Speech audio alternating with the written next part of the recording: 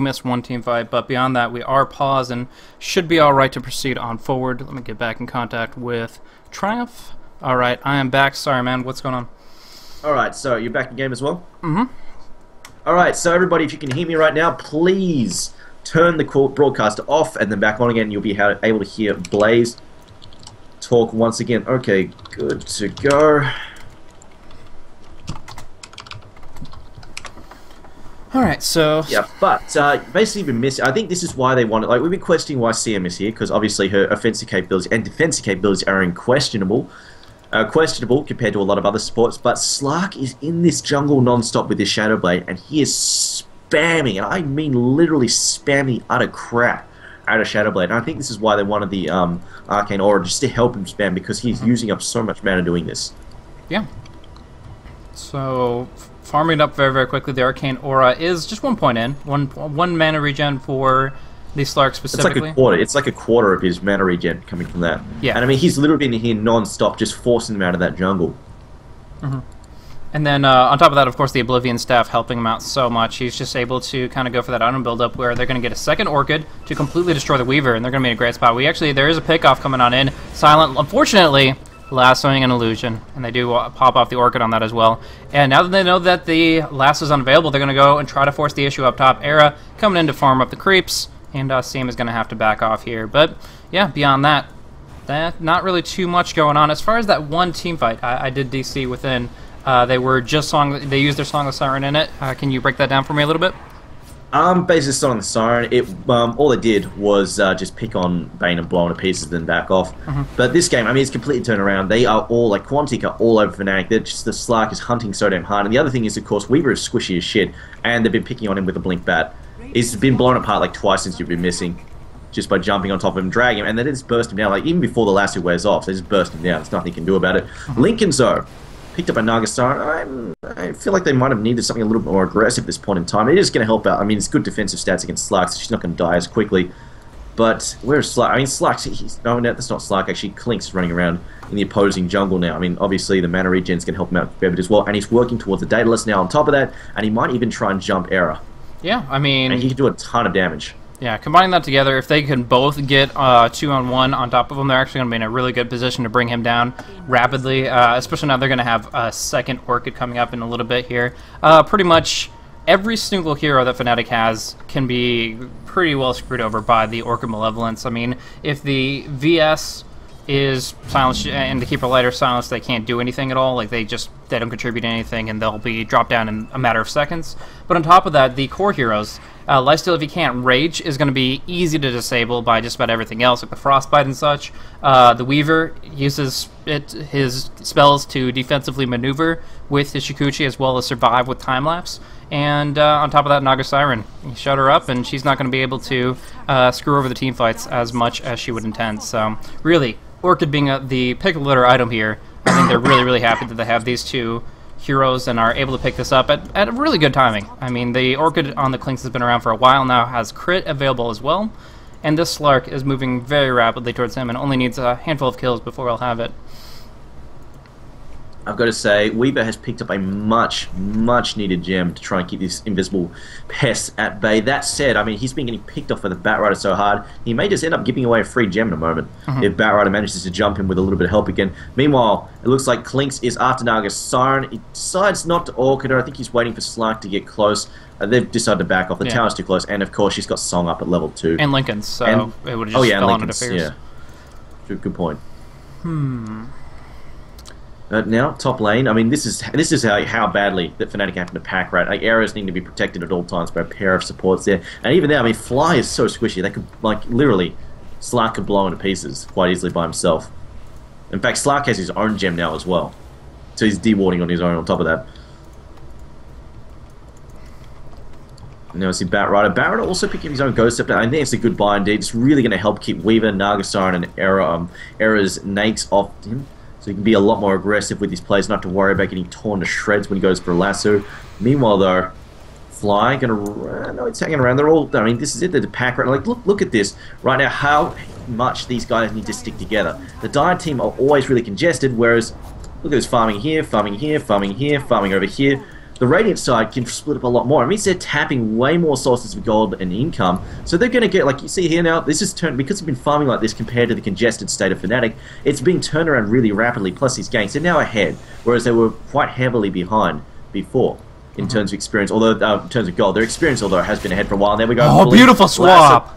Yes, Oh. fantastic swap. So, But still, they popped the Song of the Siren there. I, I think that they actually wanted to kill the Bat Rider when he was jumping in, and they missed that opportunity because he was actually, I believe, was I'm not sure if he was the, or, or the passenger was swapped, but either way, Silent able to blink out successfully because he was not in range of that Song the sirens. So if No Tail had been able to pull the Bat further in, they actually probably could have gotten a turnaround kill.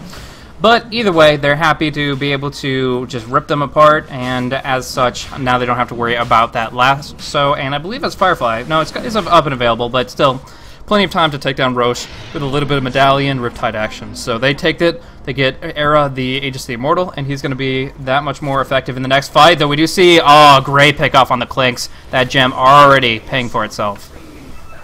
yeah, Clinkz thinking, whoops, Gem, better not do that again. Now, he'll get caught out once by that, but it shouldn't happen twice in a row. See, Barrett has forced his way down a cliff to get away from trouble. Meanwhile, Slark still charging around the opposing jungle. Doing whatever the hell he please. I think, and especially with Song, I mean, if he wanted to, they could try and gank. No, Trixie up in the top lane. And there we go. Link, wow. Wow. it's not often you see, not often you see a Linken's there on a live steal, and yet, I mean, he feels so pressured by them and their, their Orchid action that he feels like he needs to pick one up. Yeah. I don't know how I feel about that. I feel like this is a mistake just because you're going to find that they're just going to use something cheap and crappy, like a Force Staff, to blow it off him. Yeah, and that's what just happened to Trixie here. He got lassoed up. Uh, Funzi was already in a great position for him, and you're just trying to farm underneath your tier 2. It's not nearly as safe as you would expect it to be because they have so much potential to initiate. Not necessarily the side supports. Uh, Bane, actually, no, never mind. Ryze just picked up a Blink Dagger recently, so he's in a great position for that. So pretty much, Crystal Maiden is the only one you don't have to worry Oh. about just coming out of the woodwork and no time at all. Speaking of, she's not going to have a great time in this situation. Oh, Naix Bomber. I mean, that's, that's just the cheapest thing you could do. Find a Crystal Maiden and then Naix Bomber. Like you even needed to Naix Oh. Bomber. And they lose a courier. Oh, what was that? Um, they lose a courier to boot as well. Ouch. That's That didn't need to happen. Fucking really had really one of those wards, but uh, not going to be able to acquire them for quite some time now. That's four wards, and Quantic's current state of vision isn't the best. Uh, obviously, no Radiant wards up at all because of that, and they're not going to have them for a really, really good amount of time. So with that courier down for uh, for a long while, we're going to be looking at an opportunity for Fnatic to change things up. They they have that gem, they have the map control, and they could deward any ward that existed. But the fact that they don't have to worry about it for another handful of minutes is actually going to be allowing them to actually play aggressive for the first time this game, instead of con- constantly just being on the run. We'll see what they've got up their sleeve indeed. Whether or not they can get aggressive. I mean, yeah, it's going to help, but that said, I mean, that said, Clinkz is kind of getting fat, and to be honest, I feel like he's a much stronger carry in terms of burst damage than Lifestealer can be, especially just because, I mean, this is sort of an issue that Lifestealer's going to run into. Even Naga Starfers, like, partially, is the fact that she's going to have to get to grips with the enemy, and you've got all of these really annoying lockdown abilities from Bane, from um, Batrider, even even a little bit from Chris. Like she's got a slow and stuff. And see a song though up in the up in the top jungle there. They're trying to set up a kill here on Bat, and in fact the Riptide Faster Force Staffs out though. Looks like he's also popped. He's uh, also popped his ghost step, and now Crystal May actually ults and does absolutely nothing because of rage. But Hanny will probably get picked off here. He does indeed go down, but they're going to get a revenge kill. In fact, they tick off Slark and they lose the gem. That is a pretty big blow. Not only have they lost their wards for a good four minutes, but they've also lost their gem, which is their main point of counter detection. And now, in fact, they're going to lose some more heroes. Although, actually, no, Trixie's going to die as well again. Or maybe not. He pops his illusions, and it looks like they will actually lose the Clinkz instead. As well as the Bane. Bane also gets Wow. picked off. Wow.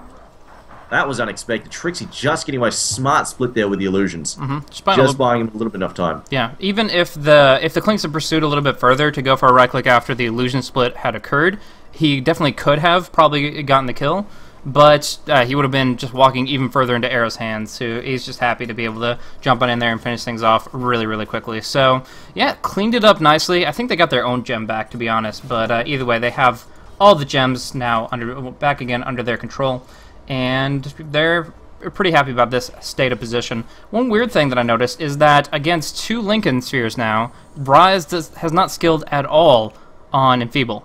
I mean, it's the easiest thing to just spend 95 mana, pop off a, a Linken's, but instead, not really deciding to skill that up, and I'm not exactly sure why. Yeah, I mean, he definitely could have argued for one less level of Brain Sap to do that. It really would have been a good idea, but I guess I guess they weren't really planning for uh, the, Linkens on the Naix. I mean, yeah, sure, Nagasar might get one. We've seen him do it before, but uh, I mean, the, the Batrider already has the Force Staff to help deal with that, so that's not too much of a worry for him. I just don't think they expected the Linken on the Naix, and they might not even realize the Linkens is out yet.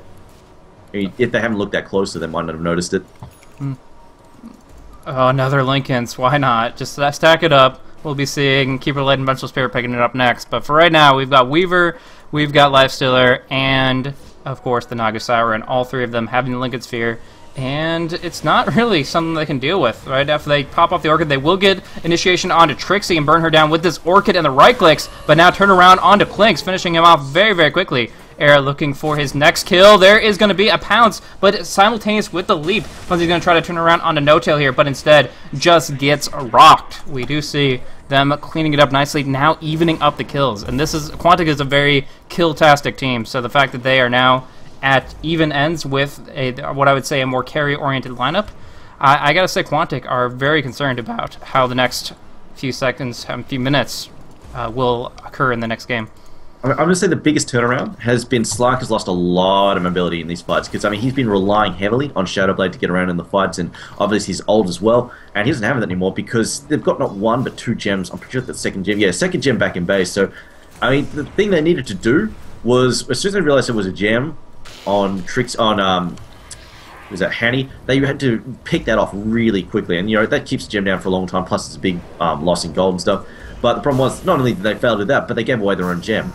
So now they've got so much problem for him to be effective. Oh, Blink 4. I don't know about that play from Bat and the swap out there as well. Bat could give away a free kill. I really don't know where he was going with that. And now we're going to see Rise down a lot of trouble. He's going to get thrown in the Fiend's Grip, but it's not going to be enough. Gets stunned out of it, and now he's going to die a horrible, painful death. Crystal Maiden saying, you know what? I'm, I'm effective, man. Look at look at me old. Look at this old. This old is awesome. Yeah. Does so much stuff. And now he dies a horrible, painful death. Actually, no, he gets away because Time lapse back. Oh no, spoke too soon. Here we go. Song of the Siren. And now Era, in fact, going to eat him, pops on the armlet once again, destroys Crystal Maiden. And now it's all about Funzy. Oh no, Funzy gets netted up, and they can see him because they have a gem. Goodbye, Funzy. And Fan Fanatic, absolutely fantastic. Shut down Quantic, and it looks like You'll lose a tier two bottom as well. I mean, it was it was looking really good for Quantic. They had complete domination of the map for a good five ten minutes, but unfortunately, the gem has completely turned everything around. Yeah, and these Linkens, for that matter. I mean, in this position, so many times they've been trying to get spells off, orchids off, anything off, and they just can't. Like the the both the Nightmare and the Fiend's Grip had to be used just lockdown era for maybe three seconds before uh, the Magic Missile came on through and canceled it anyway. So they don't have the lockdown they want. They don't have the lockdown they need. And so Era can just stay on target, bring whoever he wants down. And now Hani's gotten really big. He's bounced back quite a bit, sitting at level 20. And the guy that was constantly being uh, blink initiated on by Bat is now the one dishing out all the damage. Like he is doing a lot with his Geminate and doing over 200, and it's just really, really impressive how quickly he can just fry people. We're going to see the Bane drop down in just a moment, and although the Ghost Scepter keeps the Batrider up, they can even go for uh, Clinkz here. No-Tail on the run. Earn charge, keeping him up so that, oh my goodness, they can't even get a kill on the Vengeful Spirit with that Bone Fletcher. Now Silent in a bit of a rough spot, but he should be able to at least survive through this. Yeah, still, bad spot for them to be in, and now Funzy, kind of a last ditch, going on out here to try to finish somebody off, but no chance at all. Fly will be pulled in the fountain, will die, but, uh, you know, when you're best bet is to pull somebody into your fountain, you, there's a problem with your game. So in this situation here, it's no tail, a ghost sceptering up. It might not even be enough for Sound to finish him. He does get him with a Firefly. Still, good game, will play comes out, and Fnatic really pulling things together here in the past few minutes. I mean, you were talking about it earlier, um, the fact that, oh, what we think of Batrider being left so late in the draft. Uh, comes down, like, Vengeful Spirit, really, really good counter pick to Batrider. Just the fact that you can completely nullify this. So mean, any any hero that like specializes in isolating a target, you can swap him out. Like Bane as well, if he gets a good Fiend's Grip down, well, you, you imagine he fights his way through all of the Linkens, manages to Nightmare and Fiend's Grip the target he wants to get, and then you just get swapped out. Mm -hmm. It's like so aggravating. What do you do about it? Absolutely. And along with that, we've seen Trixie use a couple times. That song has such a great range, and so if oh, yeah. the Bane is in range to Fiend's Grip, he sure as hell is in range to listen to that sweet song of Trixie's people. But we're going to see mid racks fall, bottom racks already taken down, and of course, everybody having disconnected on out. The Ancient should be falling with them in just a moment, but just really, really strong play from Fnatic. I expected a lot more pickoffs from Clinkz and Slark. I mean, they did get 9 kills on Slark, they did get 5 kills on Clinkz, but up against the Keeper of Light, Mental Spirit, you need to even rack up more. So the fact that they survived through all this, it, kudos to those support players, because not an easy game to survive on through. Let's be honest. Um, before Slark got his Shadow Blade, he was not great. He was um, sure. Funzy. I guess it just hadn't played that much. Like maybe it was the I don't know ping lag, whatever. But he was missing a lot of pounces. And when you've got all your levels in pounce and only one level in Dark Pact, that's a, not, not just the fact that you're missing the, the, the pseudo stun, the lockdown, but you're missing all your damage. That's that's all of his damage being lost because he's missing the missing the pounce. So that wasn't good at all. And I mean, I really feel like they could have got a lot of extra early kills, which could have definitely swung things much better in their favor go to the mid game if he'd been landing those pounces. But as it was, you know, if wishes were fishes. But regardless, you know, Fnatic they played a good game. They countered nicely. They were definitely on the back foot. They were definitely on the back foot for quite some time, especially when they lost control of their jungle. But it came back in. They they got back into it, and they counter attacked very nicely. And the mass Linken's turned out to really work out for them. Absolutely. And uh, from there, of course, they had the late game scalability from their draft. They were able to take those uh, really, really powerful carries and the fact that they could live through all that and just stay on top of things. Lifestealer got out of control very, very quickly. And I think the, the way to cement the advantage was when they took down the Roshan, and really Quantic had nothing to show for it. So, really nicely done by them they take this game away, they will they do get third place as a result of this, and they get the the best points they could in that situation. Unfortunately, Fnatic of course did lose to Alliance, uh, so they won't be having a chance for first or second place. But speaking of that, we are going to be looking at the first and second place grand final decider for the season five Mjolnir Cup uh, coming up. It's going to be Alliance going up against Mousesports, which is a matchup we've seen a couple of times previously, but uh, it seems to be a very different uh, style of play each and every time these teams come out to fight each other. They always try to bring something new, and uh, I'm really excited for it. How about you? Yeah, I'm looking forward to it. See what Mousesports have got up their sleeve. Quick apology to Mousesports. I bet some items on them, so oh. they're in a lot of trouble. I don't win bets. Don't win a lot of item bets. Well, easy rares, easy life. Maybe it'll work out for you. Anyways, thank you guys so much for this time. uh, anyways, thanks for tuning on in to the Premier League Season 5. We're going to bring, bring you guys the grand final in just a few minutes here. Um, we're going to be starting up the lobby immediately, and the games will be back to back. As far as we can tell, there shouldn't be any more delays. So we are a little bit behind schedule, of course, but that's what happens when Dota just keeps on stacking up with some awesome games that go long. We just roll with the punches, and we're going to see some awesome ones flying back and forth in just a few minutes, guys. So thanks for tuning in. Grand final coming up. Can't wait for it.